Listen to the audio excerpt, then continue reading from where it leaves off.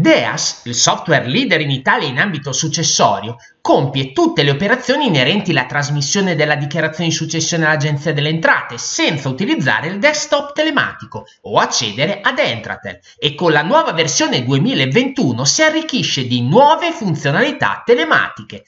Infatti, alle funzioni di verifica, autenticazione e trasmissione della successione dall'interno di DEAS ed alla console telematica per le ricevute si affianca ora una nuova funzione download ricevute e documenti che oltre a semplificare tutte le procedure, è in grado di verificare la presenza e scaricare anche la copia semplice della dichiarazione e l'attestazione di avvenuta presentazione.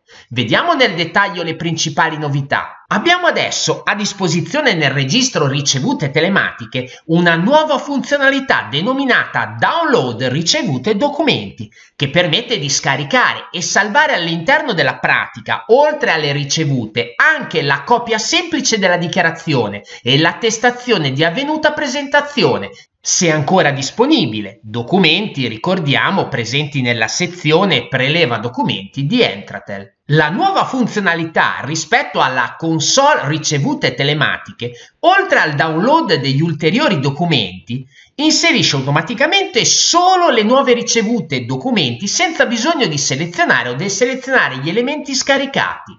Permette di effettuare l'operazione anche per successioni presentate tramite Fisco Online, con le credenziali del contribuente. Questa modalità viene attivata nei casi in cui la casella registrazione tramite intermediario sia disattivata. La nuova funzionalità è accessibile direttamente anche dalla barra degli strumenti tramite un apposito pulsante. La console ricevute telematiche rimane comunque attiva per i casi residuali. Il software, inoltre, è già aggiornato alle novità normative in vigore dal 1 gennaio 2021, nuovo calcolo degli interessi per il ravvedimento operoso e adeguamento delle modalità di calcolo dell'usufrutto.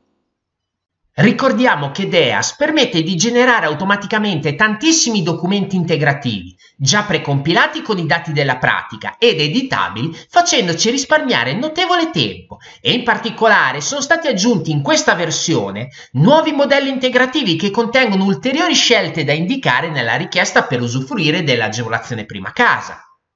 Ulteriori modelli, testi base, relativi alle agevolazioni codice C, D, E e Q da allegare alla dichiarazione nei casi in cui il richiedente non sia il dichiarante, ovvero dichiarazione per esenzione, codice C, categoria degli imprenditori agricoli professionali o dei coltivatori diretti, dichiarazione per esenzione, codice D, proseguimento dell'esercizio dell'attività d'impresa, anche per società di capitali, codice E, compendio unico e maso chiuso, dichiarazione per riduzione, articolo 25,4 bis, codice Q.